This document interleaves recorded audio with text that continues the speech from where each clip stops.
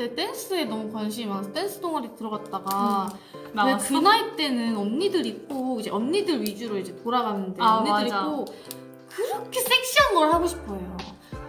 이제 그래가지고 흰색 와이셔츠에 14cm 힐에 14cm를 신을 수가 있는 거였어? 아니 나는 처음 춤을 배우는데 거기 중학교 동아리 들어가서 선생님한테 첫 그첫 축제 준비부터 14cm 힐을 사라는 거야.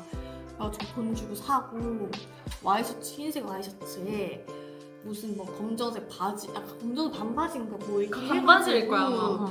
근데 그런 거를 하라고 해가지고 뭐 이런 게 있어요. 근데 저는 그걸 잘못 춰가지고 춤을 처음 배웠으니까 못 춰가지고 체어 댄스는 안 추고 좀 덜 섹시한 그런 체어 없이 추는 안무가 있었는데 그냥 그런 거 추고 그 뒤로 아 나는 진짜 안 맞는다.